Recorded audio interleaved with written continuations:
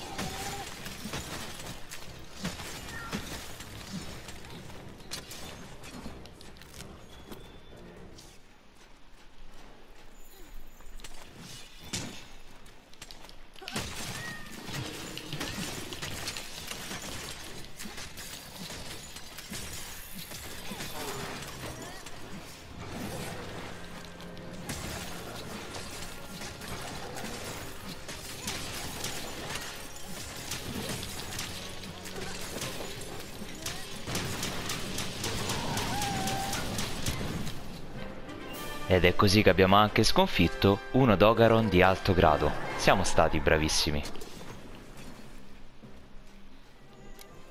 Dalle classiche tre scalcate otteniamo come ricompensa uno Dogaron artiglio più, uno Dogaron scaglia più ed infine una zanna più.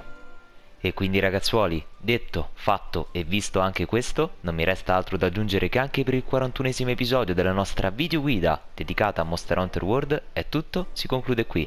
Io come sempre vi ringrazio per il tantissimo tempo che mi avete dedicato e spero in qualche modo di esservi stato d'aiuto. Al prossimo video, ciao!